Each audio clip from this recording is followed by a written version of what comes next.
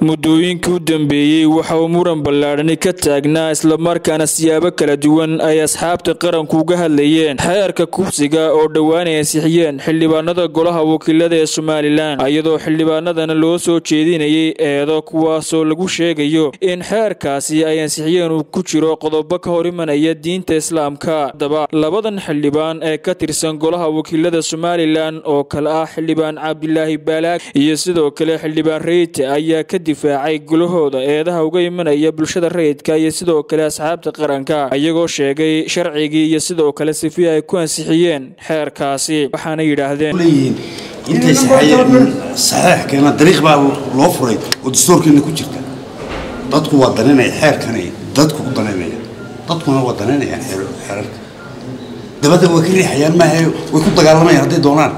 Because iyo lafahoodii lafahoodii bay leeyahay ammaankoodii ayaa ku jira ay sugaya xeerkani xeerkani waa xeer la dagaalamaya dembi faldembiyeed bulshada ku soo batay oo midiyu ka warhayo oo cid waliba ka warhayso nin kale dastuurku ka soo horjeedaa dastuurku ka soo horjeeda ma waxaa dastuurka ka soo horjeeda in la xakameeyo maxaan ku dhahdaa faldembiyeedka kufsiga dee cidda siduu uga soo horjeedo maxkamad baa jirta hageeye shareecadu ka soo horjeeda maxkamad baa jirta hageeye laba gole oo maxaan ku dhaha dastoria iyo madaxweynihii buu maray. Bulshadoo dhan baa ka qayb gashay. Siduu sheegaya cabdillaahi culimadii waa la wareystay oo waa la weydiiyey oo goobjoogyaal bay ahaayeen oo waa ka qayb galeen. Baarlamanku markuu sameynaya xeer weliba noocan oo kale ah. Wuxuu u bandhigaa bulshada oo wakiil kaga ah waxaanu jecel lahay halkan inaanu ku caddayno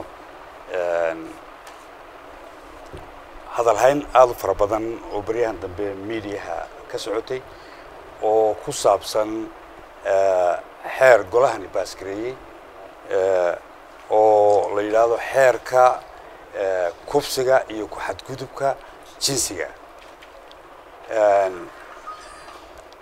Sidaa la socotaan dalka waxaa ku soo batay si xad dhaafa oo la odhan karo heer aabfa aabay gaadhay waxaa la yidhaahdo kufsiga.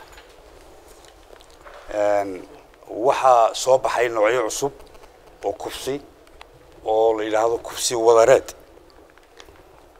Waxaa dastuurkeenuna wuxuu qabaa. Waa inaad isbaasifgaraysaad sheegtaa waxaasaa ka hor imanaya dastuurka maaha inaynu sidii dadka aynu u sheekeyno ama dadku siday yidhahdaan dastuurku ka hor imanaya waa kan xeerkiiya waanu haynaa halkan u yaallaa haddaad ku hayso qodob ka hor imanaya shareecadda islaamka ama dastuurka waxaad tidhaahdaa qodobkaas iyo qodobkaasaa ka hor imanaya shareecadda islaamka iyo dastuurka waa nonofid dastuurkeenna qoraya waxba kama jiraan hadduu ka hor imanayo shareecadda islaamka madaxweynuhuna muu saxeexeen golahana kamuu baxeen marka horena xeerka markii la samaynayey culimadu way ka qayb qaadatay oo ka qayb bay ahaayeen.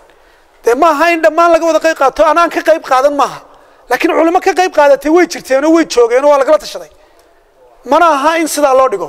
Haddaad si xeerkeennii ma u aragtaa xeerkani inuu wanaagsan mise inu xuyad aragta adugu adiga su'aalka weydiiye xeerkan ma waxaad u aragtaa inuu wanaagsan yahay oo loo baahan yahay mise inaan loo baahnayn?